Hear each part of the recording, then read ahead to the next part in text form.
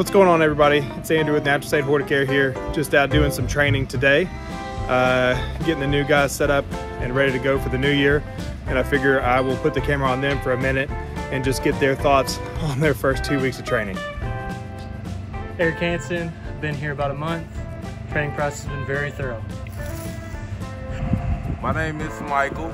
Uh, I've been here for about a month and man, I just love being outdoors. That's what this job gives me. It gives me opportunity to smell the fresh air, uh, be out here doing what I love doing, which is, you know, treating lawns. And so looking forward to many more years of giving people green lawns.